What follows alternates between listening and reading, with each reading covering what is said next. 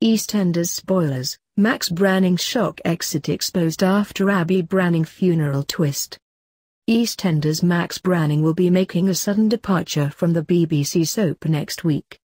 Max, played by Jake Wood, will be leaving EastEnders for a short time following a twist in Abi Branning's Lorna Fitzgerald funeral storyline.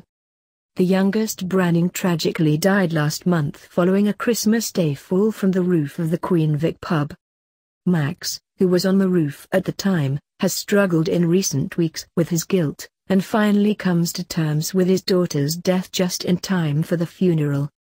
However, when he tries to attend the service, he finds a barrage of obstacles from his own family. Lauren, Jacqueline Jossa, and Jack Branning, Scott Maslen, plan to keep Abi's funeral private and go to desperate lengths to keep Max away. He finds himself suspicious when his other daughter fails to tell each everyone the same story. After sorting through her post, Max realizes all of the mistakes he made as a father and rushes to the funeral parlors to see her body. Lauren tells her dad his worst fears that Abi has already been buried without him. Clearly heartbroken, Max announces that he's leaving for a couple of days to sort his head out.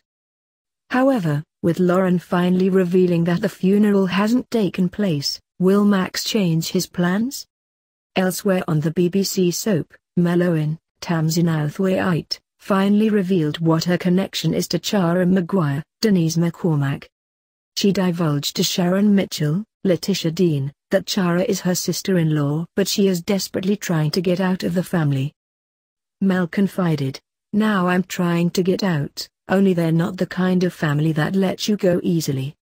Getting that money back to Ciara is my ticket out, and I'll do whatever it takes. With Ciara guarding her son Hunter Owen, Charlie Winter, will she get him back unharmed, unharmed?